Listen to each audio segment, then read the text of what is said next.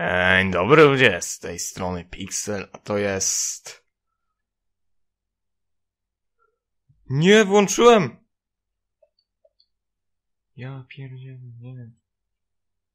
Chwila, moment. God damn it. Alt tab. Co jest? Otwierz. Aha, świetnie.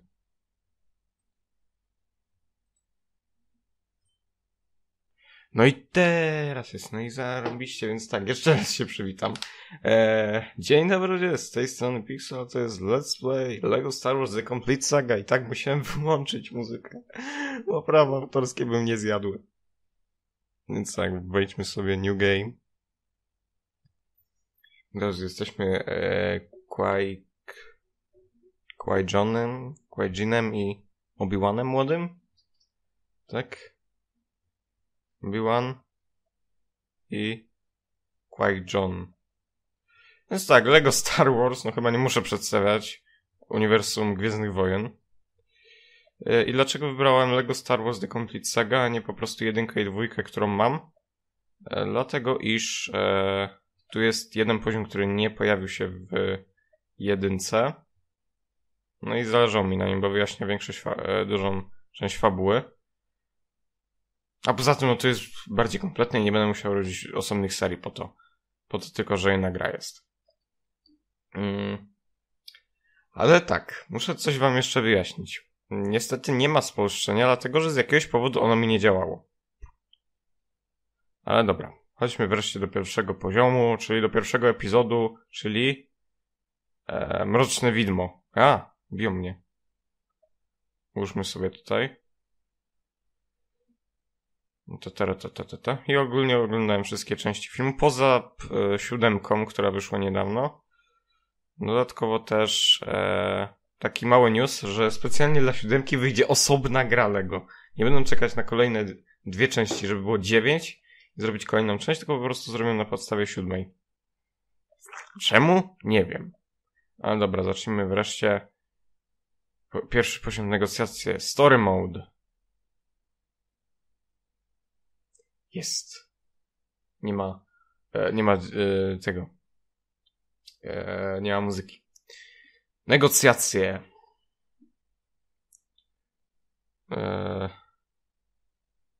Turmoil zdenerwował Galaktyczną Republikę w, z blokadą zabójczych statków kosmicznych. Stop shipping to the small planet of Nabu.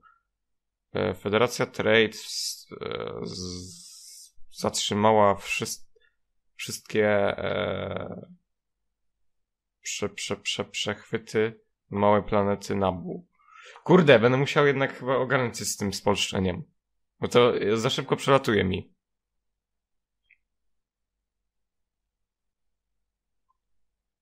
Dobra, i ogólnie też to lepiej wygląda niż w... Oczywiście jest muzyka w cutscenkach, bo dlaczego miałaby nie być? Czyli znowu będziecie mieli ogólnie wyciszoną grę. Przykro mi.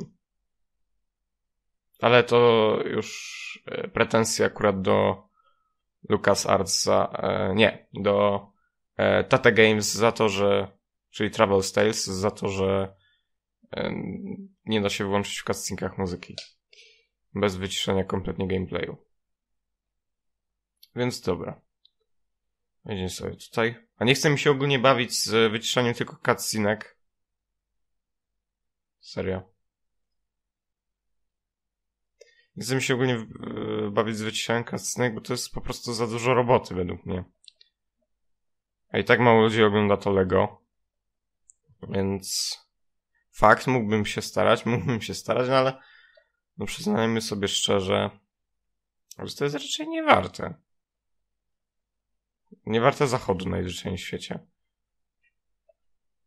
Yy, całe to... I ogólnie tutaj jest zupełnie inaczej. Tylko Jedi tutaj, e, czyli ci z mieczami świetlnymi, jakby ktoś nie znał uniwersum Gwiezdnych Wojen, e, umiał skakać wysoko, w przeciwieństwie do Lego Indiana Jonesa.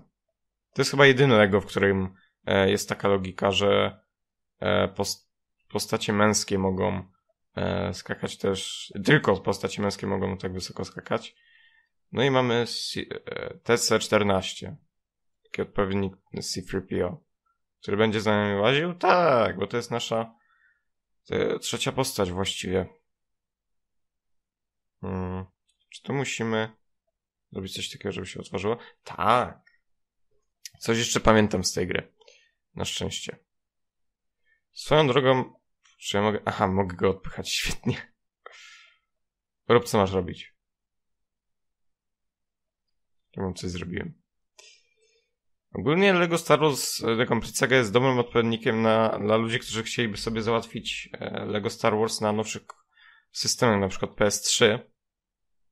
Ponieważ, jeżeli nie wiecie, to jedynka i dwójka tylko wyszły na e, PS2, a nigdy nie wyszło Lego Star Wars 1 na PS3, bo PS, na PS3 wyszło bodajże Lego Star Wars 2 i na PS Store też można kupić Lego Star Wars 2, tylko że to jest emulacja z PlayStation 2, więc nie wiem, jak to sobie woli.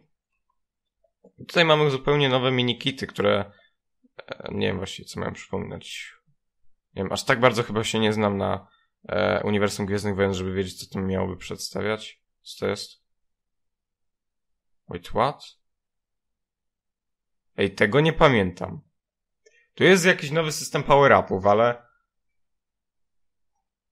to nie wiem, no jakoś tak nie, nie przypominam sobie.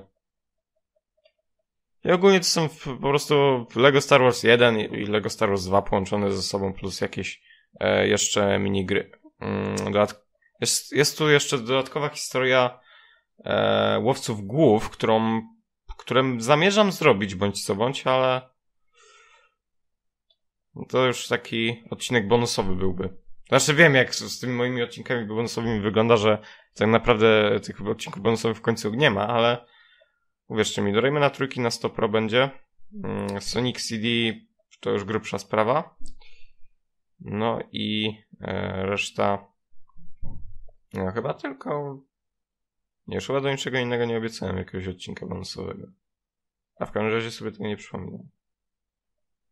Więc może ja po prostu mam jakąś do dupy pamięć. Nie doskocz tam, nie ma szans. A i w ogóle jak zaatakujecie z Tripio e, mm, robotów, takich właśnie jak TC-14, to, to im cały czas odpadają jakieś części, przez co no jak zabierzecie im wszystkie serca, to może to wyglądać śmiesznie, chociaż no. U nas to nie widać, ale on traci serca, więc szczerze chciałem zobaczyć, co się stanie, jeżeli go coś trafi teraz. Jest troszkę teraz wolniejszy, więc miejcie to na uwadze. Ale jestem ciekaw, co by się stało, gdyby go coś trafiło w tym stanie. Czy on by umarł, czy jakiś glitch by się zrobił? Dobra, Obiłanku, chodź. Honotu. Ogólnie pierwszy poziom, jak to pierwsze poziomy w grach, są strasznie e, krótkie. No. Zobaczmy. Nie, nic się nie dzieje. Ogólnie wszystkie roboty tak możemy odsuwać, przez co mamy fajną możliwość ich e, po prostu niszczenia szybką. Szybką możliwość niszczenia. O. Dobra, otwórzmy, zobaczmy jak wygląda animacja otwierania. Głową, o Boże. Co, skrócę jego cierpienia. No, zrespawni się. Dobrze. No i myk. Wszystko zrobione. Obiłanie, obiłanie, co ty robisz? Nie szkoda ci życia na takie głupoty. Aha, ogólnie e, pozdrawiam wszystkich e, w tą Wielkanoc, bo w końcu dzisiaj jest Wielkanoc, czy tam wczoraj była, nie, nie jestem dosyć ogarnięty z tymi wszystkimi świętami. Przepraszam. E, więc no co, życzę wam miłych świąt tych wielkanocnych, spokoju, radości i nie wiem co się, wesołego jajka, o.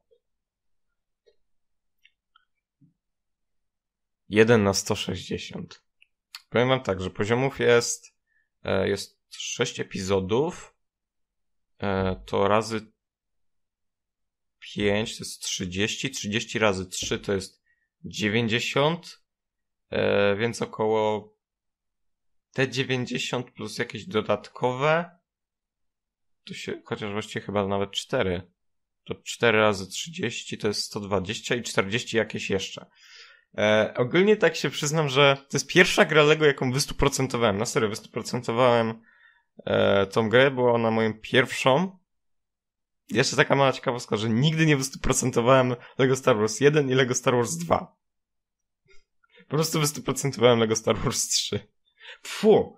E, no, nie no, trójkę też wystuprocentowałem. Invasion of Naboo. Federacja Trade y, wypuściła pełn, pełnoskalowy atak na bezpieczny świat Nabu. Eee, ukrywający się na statku e, Qui-Gon Jinn oraz Obi-Wan Kenobi e, sekretnie wkradli się na e, raid z e, w siłach inwazji. I teraz muszę jakiś kontakt zrobić. Nie muszę ogarnąć to spolszczenie, bo to jest trochę do dupy, jak tak e, przetłumaczę jakieś trzy czwarte na szybko i tyle. Więc nie wiem, od następnego odcinka prawdopodobnie będzie spolszczenie. Obiecuję to. Nie dobra, no bo mój praktycznie nieulubiony poziom, ponieważ tutaj nas wszystko próbuje zabić. Znaczy, wszystko powiedziałem Po prostu jak widzicie, e, droidy tutaj mają nieskończone, nieskończoną możliwość e, pojawiania się. Po prostu wychodzą sobie tak z, z dupy kompletnie z tych krzaków i e, no biegną dalej. A niektórzy się zatrzymują, jak nas zauważą. Nie jest to częste, ale jest możliwe. I tego nie rozwalę, bo jest mi to potrzebnie. Oczywiście pewnie nie mogę. No oczywiście. I tak, nowa mechanika jest tu, że możemy mieczem świetlnym odbijać e, strzały droidów, czyli blastery. Musimy to wysadzić. Bum. Czy uda mi się? Udało się. Ogólnie pamiętam tu większość tych minikitów i pamiętam, że no, w większości nie dało się zdobyć najzwyczajniej w świecie. Jar Jar Binks. który miał podobno, e, który jest najbardziej znienawidzoną postacią w całej, e, w całej serii Gwiezdnych Wojen i mała ciekawostka, Jar Jar Binks miał być początkowo e, ty, e, sekretnym lordem Sithów. Czyli tych złych w uniwersum Gwiezdnych Wojen. Taka, ma, taka mała, e, nie wiem, ciekawostka czy coś. Ogólnie są też postaci, które skaczą wyżej niż na, nasi Jedi. Jak widzicie, nie możemy dojść, e, skoczyć znaczy się tutaj, e, bo jest jedna postać, która może tu wskoczyć. Jar Jar Binks. Na przykład Jar Jar, który skacze wyżej niż e, tej postacie i aczkolwiek nie możemy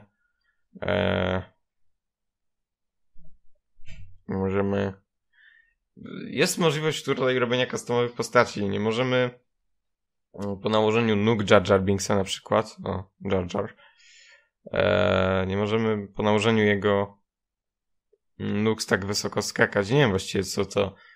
E, możemy właściwie dać tylko postaciom blaster albo e, albo blaster albo miecz świetlny i to jest jedyny praktycznie wybór jaki możemy mieć. Minus w sumie, dlaczego steruję cały czas qui Jinem? Przepraszam, jeżeli to wypowiadam źle.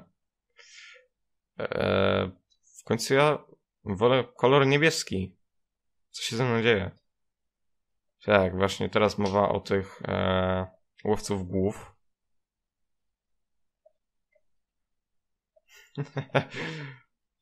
Teraz mi się e, pewna parodia, którą widziałem. Mm, że nie wiem, pogr pogromcy mitów, pogrom e, pogromcy duchów i właśnie łowcy głów. Goddammit. No. Ja, ja to po prostu jestem udany. Dobra, sterujemy naszym Obi-Wanem. jest fajnie. Ogólnie miałem taki plan, żeby e, nagrywać to z e, PS2. Jako już, no, wiecie, jaka jest moja sytuacja z PS2, to stwierdziłem sobie, może nagram z GameCube'a. E, po czym stwierdziłem, e, nie, wolę HD mieć na filmie. Co to jest? Pewnie tylko małe postacie mogą wejść. Poza tym większość rzeczy pozostała ta sama. No, na, na przykład tu widać. No co, czyli małe postacie tu muszą wejść. No zmienił się trochę te, te modele. No i znowu mamy nasz power up. Nie wiem właściwie, czy brać te power upy, czy nie. Są właściwie mi one niepotrzebne, bo wtedy chyba jestem tylko po prostu nieśmiertelny i tyle.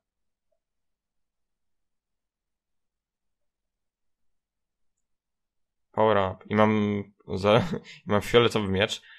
E, swoją drogą, jedna postać z Gwiezdnych Wojen, mm, która miała właśnie purpurowy miecz, była to jedyna postać, która miała purpurowy miecz w całym filmie. E, I tutaj taka mała ciekawostka. Mm, dla, pewnie się większość zastanawia, dlaczego to było. Otóż aktor, który chciał, który grał e, właśnie w Jedi, który miał e, fioletowy miecz purpurowy, zwał jak zwał, mm, chciał widzieć się podczas tych wszystkich, podczas tych wszystkich walk Jedi. No, chciał się po prostu y, widzieć, jak będzie oglądał film. No i dlatego został mu wybrany fioletowy miecz. Świetlny. Taka mała ciekawostka. Wiem, że tej postaci nie ma tutaj e, jak na razie z nami, ale a, fajnie jest tak wspomnieć, bo nie, bo nie ma zbytnio takich ciekawostek bardziej o tej grze i jakichś innych rzeczy. Zwykle to e, z, zwykle ciekawostki to są takie, jeżeli chodzi... Wait, what? Dlaczego ja tutaj jestem?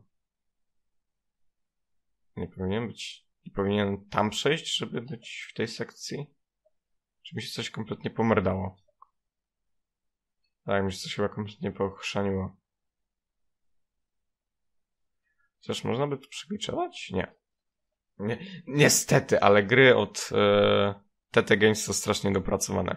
E, poza Lego The Lord of the Rings, które przed patchem nie miało e, pewnych kolizji. Przez co można nieźle glitchować, było nieźle glitchować to. A po patchu już niestety się nie da tak zrobić. E, dobra, ja tu chcę ułożyć tą postać, bo ona mi da mi Nikita. Więc będzie fajnie. E, swoją drogą, prawdopodobnie po Kangurku KO 2, to znaczy no po tej grze będzie Kangurek KO 2 jako let's play, e, ale po tej grze zastanawiam się, czy jednak kontynuować ją przy Lego Star Wars 3, które jest już na podstawie serialu Lego Star Wars The Clone Wars, e, fu, Star Wars The Clone Wars, e, czy czy po prostu na przykład jakąś inną grę, grę nie zrobić i wtedy dopiero. Ale prawdopodobnie zrobię e, Star Wars 3. E, Lego. Ja ogólnie przepraszam za e, odcinek z Human Resource Machine, czy jakoś tak. E, ponieważ nie wiem właściwie dlaczego te szumy się stały. Prawo sądziłem, że to może być e, przez moje przesuwanie mikrofonu, ale chyba raczej coś takiego by nie miało miejsca w ogóle. Chyba coś takiego nie miało miejsca. Chyba tylko raz na początku filmu sobie przestawiłem troszkę mikrofon i tyle. Więc nie wiem dlaczego tak się stało. Kurde, szybko idą te poziomy. W przeciwieństwie do tego. Indiana Jones. Jones. Jonasz. 5 na 10. Nice. Eee, dobra, kontynuujemy historię. Kurde, jak dobrze pójdzie, to nawet przejdziemy dzisiaj pierwszy epizod. Ale jeżeli ktoś oglądał filmy, to raczej powinien znać fabułę, więc nie, jest, nie jestem tutaj e, bardzo bardzo a, w, swoją drogą, chciałbym wam coś przeczytać, ponieważ jak wiecie, e, Lego Star Wars e, pierwsze, chyba tak, było pierwszą grą Lego z tych wszystkich serii, że wiecie, była taka dopracowana.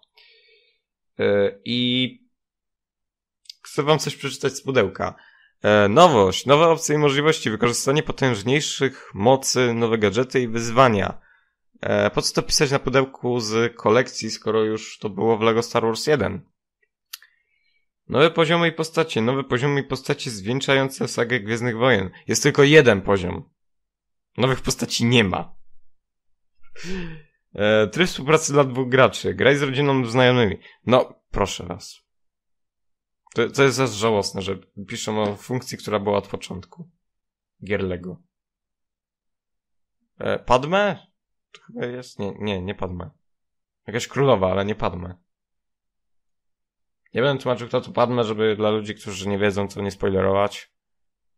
Tak wiem, że kompletnie olałem tam to napisy, ale cóż.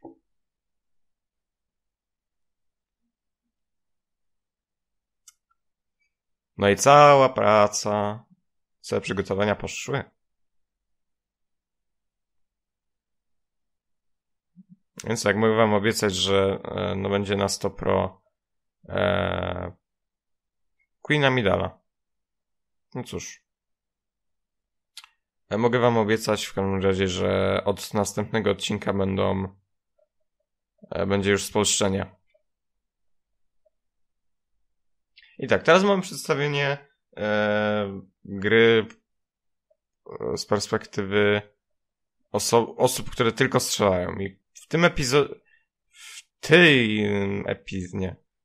W tej planszy będziemy przez jakąś połowę czasu grali właśnie tylko tymi postaciami. E, I od tej planszy będziemy musieli łączyć e, walkę mieczem świetlnym i walkę e, no, blasterami. Więc to jest dosyć no, fajne, że jakieś urozmaicenie. Na przykład w Lego tylko mieliśmy parę takich rzeczy. No i dobra, power up. Nie właściwie co power up daje dla tych e, postaci, poza tym, że są nieśmiertelne. Więc to jest właściwie chyba tylko tyle, co dają. Aha, jeszcze przebudowanie. No, fajnie się dowiedzieć. W sumie. Good to know. To tyle?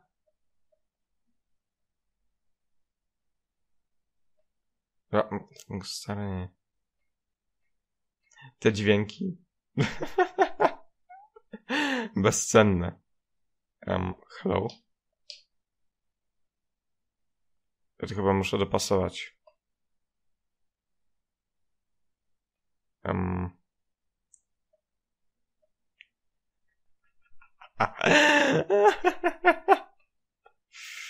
Te dźwięki. Chyba, że ja to muszę dopasować do tych e, naprzeciwko. No tak.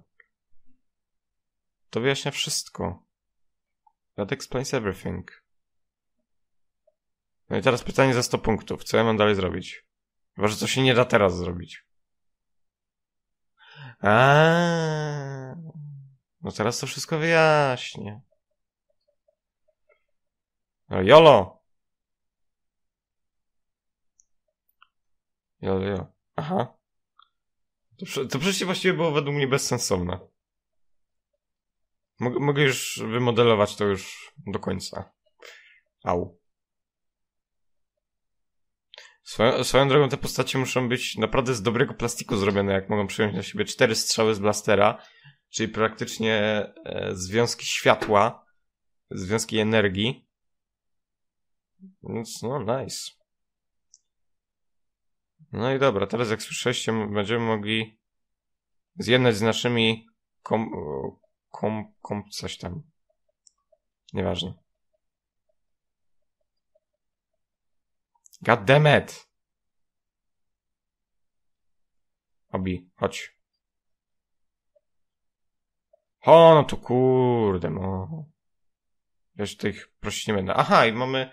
To jest ogólnie prawie jakbyśmy mieli wszystkie możliwe e, upgrade'y mm, w tej grze, czyli extras. Adaptive difficulty. Okej. Okay. No więc praktycznie dostajemy większość z tych buffów, które nas e, chronią. Jest to fajne.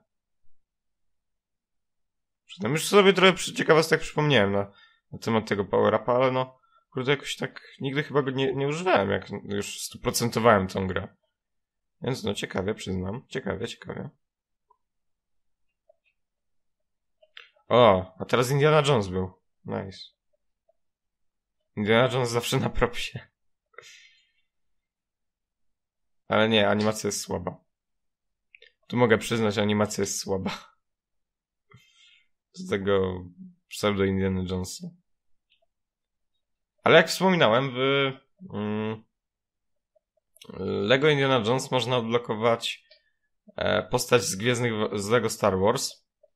Jaka to postać jeszcze nie spoileruję, bo nie jest, nawet nie jesteśmy w tej sadze.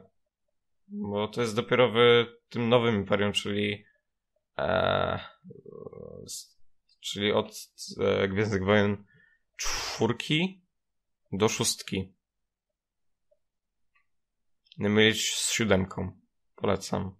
Znaczy, polecam nie mylić siódemki z szóstką, bo to się, to się raczej nie przyda nigdzie. Ale dobra. Jadymy.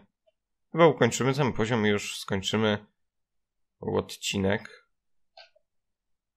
No, przeszliśmy z jakieś chyba cztery? Nie, cztery, trzy. Trzy poziomy. Łącznie z tym oczywiście, czyli trzy. Niezbyt to różnicy zrobiło, ale dobra.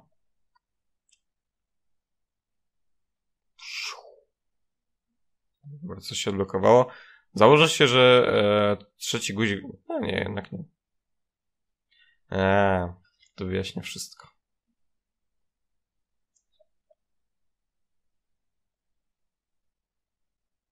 Panie, że możemy tak przejść. Ła. Ała. PS mnie zabili. No i to musimy spaść. Czy to będzie już boss?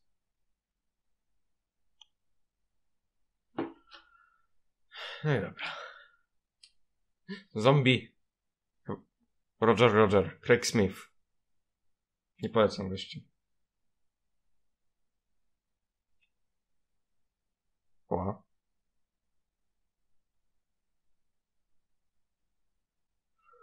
Ale bym wysadzał. No i dobra, to już będzie ostatni poziom na to wszystko. Oczywiście dodają się dwie postacie. Boże, te postacie ze stali gier Lego są po prostu okropnie pomalowane według mnie. Co ja, co ja będę oszukiwał w ogóle? Są po prostu najzwyczajniej w świecie brzydkie. Model? Okej. Ale malowanie twarzy i tak dalej to już po prostu ohyda. Nie mogę nic tu więcej powiedzieć, po prostu ohyda. Boż. Not face. A więc tak ludzie, to by było na tyle w tym odcinku. Mam nadzieję, że wam się podobało. Escape from Naboo. Tak, dzięki wam za oglądanie. Mam nadzieję, że wam się podobało. Na razie cześć. Pa, pa.